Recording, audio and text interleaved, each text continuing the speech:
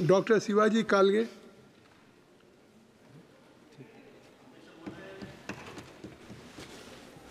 अध्यक्ष महोदय, सबसे पहले मैं आपका शुक्रिया अदा करता हूँ और आपके माध्यम से मैं लातूर चुनाव क्षेत्र के सभी जनता का भी शुक्रिया अदा करता हूँ कि उन्होंने मुझे आशीर्वाद दे के यहाँ पर भेजा।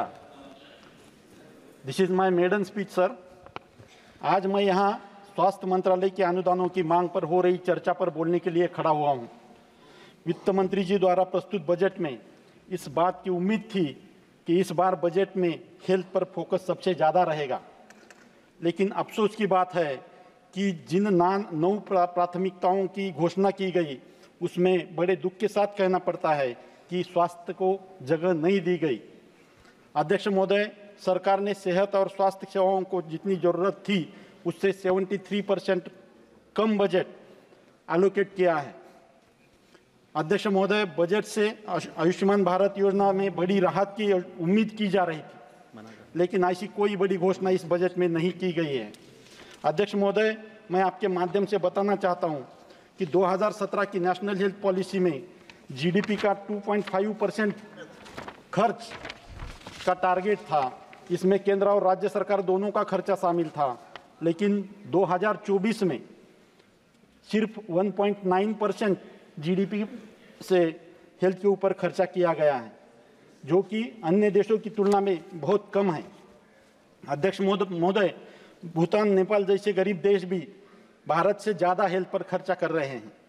अध्यक्ष महोदय हेल्थ का बजट 3.3 लाख रुपीस होना चाहिए था जिसमें सिर्फ़ 91,000 91,000 करोड़ दिए गए हैं।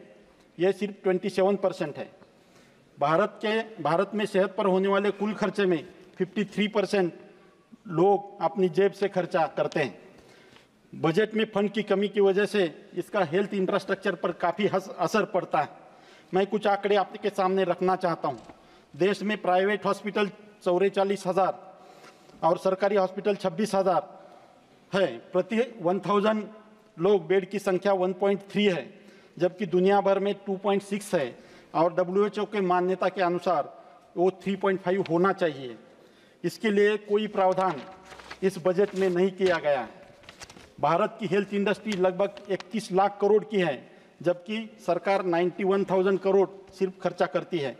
बाकी बोझ स्टेट सरकारें और जनता उठा रही है। भारत की जनता इलाज के लिए सरकार का काम बाकी देशों की तुलना में सबसे कम दिखाई देता है। इन्फ्लेशन के साथ बजट के आंकड़े मैच नहीं करते।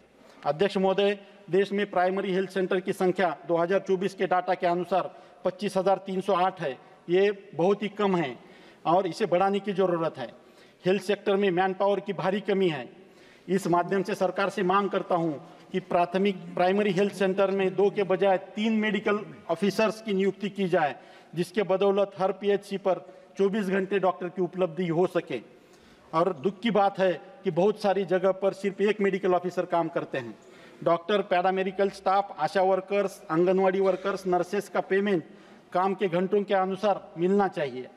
अध्यक्ष महोदय स्पेशलिस्ट डॉक्टर की भारी कमी अपने देश में सब तरफ़ दिखाई देती है। उसके बावजूद college of college of physician and surgeon जैसे पीजी एग्जामिनिंग बॉडी जो 112 साल से कार्यरत है जो कि सीपीएस मुंबई के नाम से पूरे देश में परिचित है और पीजी डिप्लोमा और फेलोशिप्स देने का इनका काम सालों से चालू है। पीजी नीट के मेरिट के ऊपर ये और सरकार के द्वारा इसके एडमिशन किए जाते हैं।